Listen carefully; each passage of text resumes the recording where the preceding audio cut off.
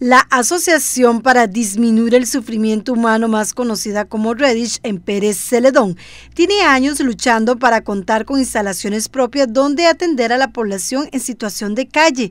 En ese sentido, la municipalidad de este cantón donó un terreno que se ubica en El Ollón, donde la organización espera llevar a cabo la construcción.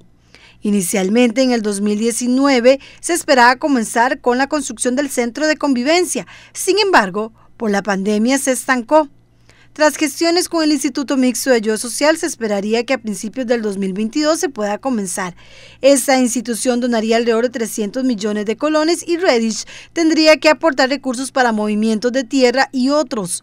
En ese sentido, esperan buscar ayuda a los comerciantes. Bueno, nosotros tenemos eh, desde el año pasado que se iba a hacer, iniciar la construcción, congelaron el presupuesto eh, ya nos dijeron que es posible que febrero ya está el dinero para, bueno, el dinero ya está presupuestado, está ahí, pero ya se pueden hacer los desembolsos, a, puede ser febrero o marzo, que, se inicie la, construcción. ¿Cuánto es ese presupuesto?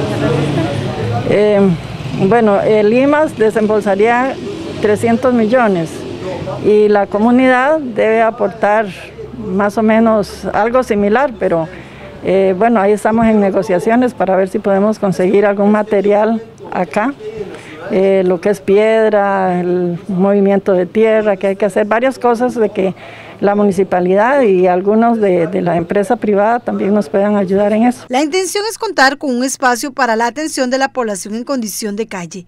Se tendría un albergue. Ahí va a ser algo similar a esto, va a ser el centro de atención a las personas en condición de calle, donde van a tener este igual... Eh, alimentación, baño, este, la atención que se les da a nivel de los profesionales y eh, un albergue donde ellos, este, no todos, ¿verdad? Sino que sería un albergue ya a las personas que están en tratamiento, se le puedan, este, eh, que se puedan quedar ahí en la, en la casa, en el, en el centro, va a tener capacidad como para 20 personas y ahí hay que trabajar 24/7. Ahí sí habría dormitorio. Ahí sí, dormitorio no, albergue.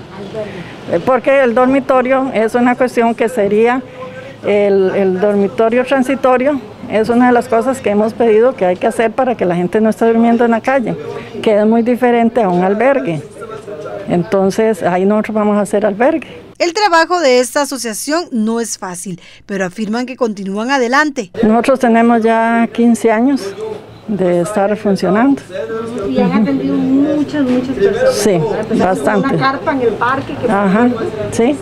Ese fue el, primer dispositivo, la carpa. Después siguió la casa escucha y que se les daba nada más desayuno y almuerzo y baño. Ahora se les da más atención, que es la parte psicológica y social. Y este, bueno, a ellos se les trata de ayudar eh, en ingresarlos a algún centro, aunque no sean en, en el cantón, pero lo más importante es que la gente del cantón debe permanecer en el mismo cantón, porque se van a otro lugar, a algún centro y no se sienten bien, entonces se escapan y, se pierde muchos recursos en eso. Mientras que si están en un centro, en, en el mismo cantón, es mucho mejor. Reddish ya tiene 15 años brindando apoyo a la población en condición de calle del cantón.